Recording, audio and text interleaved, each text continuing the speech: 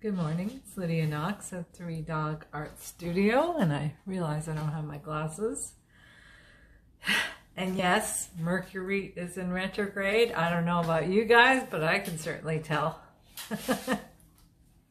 so welcome to the new moon in Libra today, and it's quite the day today because um, the, the new moon forms a stellium, and a stellium is when um, a bunch of planets and or celestials like the sun are all together within two degrees. So we have the sun in Libra, Mars in Libra, and the moon in Libra. So that creates a lot of energy and a lot of intensity.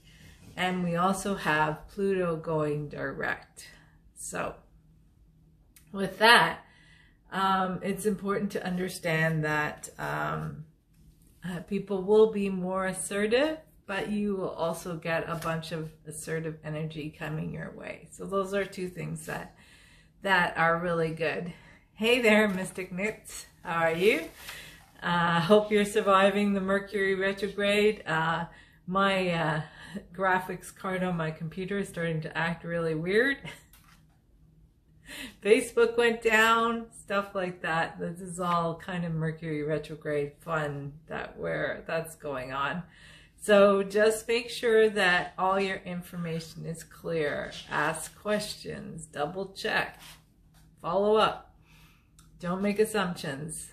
When things are uh, this intense and crazy, it can get a little bit out of control. And uh, it's early in BC for sure. It's like three hours earlier, so you're up. You're up way early, so this is good. Um, yeah, so uh, it's a good day to um, to make changes in your life. Uh, there are going to be some issues coming up um, since Pluto is going direct and it directly squares with Eris which means that there's going to be a little bit of dissension and people acting up.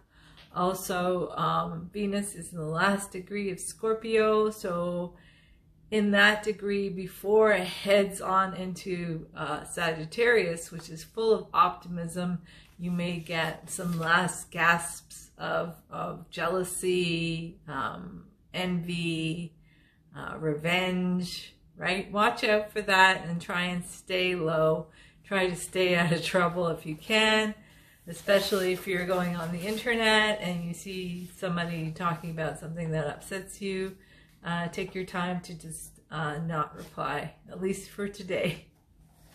If you can not not reply completely, you're in a way better place than than you would be normally. So yeah, stay open to that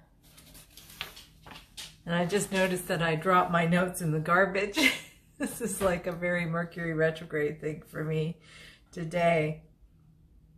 Yeah, so um, there could be some anarchy. There could be some rebellion. Um, make sure that you uh, stay away from uh, controversial stuff, which I've mentioned before. Uh, Mercury retrograde is still squaring with Pluto, so there will be some people who will think that their might is right. And they will try and be a little bit more bullying and, and uh, domineering. So uh, stay clean of that. What's good with this kind of energy is getting things in motion, right? Especially for artists uh, Venus is going to head into Sagittarius, and when it does, that's full of enlightenment, uh, positive philosophies, uh, seeing the brighter side of the picture after we've done all this shadow work. We, during the waning moon, uh, now in the new moon, we have the opportunity to start thinking a little bit more positively, and and being stronger because we've done all this shadow work. So um, now is the time to start um, finding a vision that'll guide you in a creative manner, that'll drive you forward, and um, find an ideology. Pick up a self-help book. Uh, find a good uh, coach, life coach to help you um, move forward if you feel stuck. I had, uh, I, I use Rachel Wilkins for my business, um, art business stuff, and uh, she's a great life coach. Uh, she has a podcast there.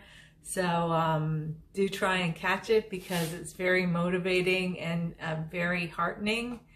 And it, it might help you uh, push forward with your creative business if that's what you're doing. Now, magically, so um, basically, today is the day to take out the trash. Today is the day to um, remove negative things from yourself. So if you're struggling with an addiction or a block of any kind, today I'm going to just give you some candle magic again. So I want you to um, get a small candle and take it to uh, a place outside somewhere like be it in the woods if you can get to the woods or some some kind of place of nature where you'll be relatively alone. And um, so a tea light would probably be the best thing if you find that you're living in the city and you don't have much space to be alone. But just get outside and uh, the tea light should be blue if you can do it and if not just white and uh, think of what it is that is blocking you from moving forward. And um, basically write a, a little poem uh, that um, asks the universe and the invisibles to remove that blockage from your life and clear it out and say goodbye to it forever and let the candle burn out till it is gone. And that's why I suggest a tea light. Because uh, otherwise you'll be out there for a while. I mean, if you got the time, hey, that's great. But, you know, most of us are pretty busy and, and don't have the time for that. And uh, if it's really windy, just stick your tea light in a jar and that'll protect it from the winds that may blow. Um, art-wise, right now, I am working on this commission. So I basically did one of the final layers. If you notice, I have my magnifying uh, glass nearby, and I've been studying the Dutch masters and their miniatures because the faces of these people are very, very tiny. They're about the size of a quarter. And um, I need to get right in there and try and add as much detail as I can to their faces so that it matches the faces that my client gave me when he sent me the pictures. So it's very exciting to to be able to um, uh, get on the last layers of this and, and get her done. Um, that's it. Oh, and also I do do illustrated astrology charts if anybody is interested, I charge 50 bucks for it. Um, but that gives you, I use qual high quality um, paper and I use uh, pens that will last a long time. And basically I take your birth chart and I draw it out and I draw out what I think the birth chart is telling me. So I just kind of illustrate it and it looks kind of cool. And this is a great Christmas gift. I know it's early, but you know, commissions, if you're, if you're going to commission an artist, this is a good time to do it. Do it early. Uh, don't wait because, um, you know, things pile up and then I don't have any time to do anything. But uh, the illustrated charts are fun and uh, they're basically uh, my kind of illustrations and uh, yeah, so um, I enjoy doing them. So if you if you have someone in mind who who's uh, hard to buy for, but they love astrology, this might be the thing for them. So I think with that, I'm going to say goodbye, stay creative, and stay out of trouble for the Mercury retrograde. And I'll talk to you guys tomorrow. Take care.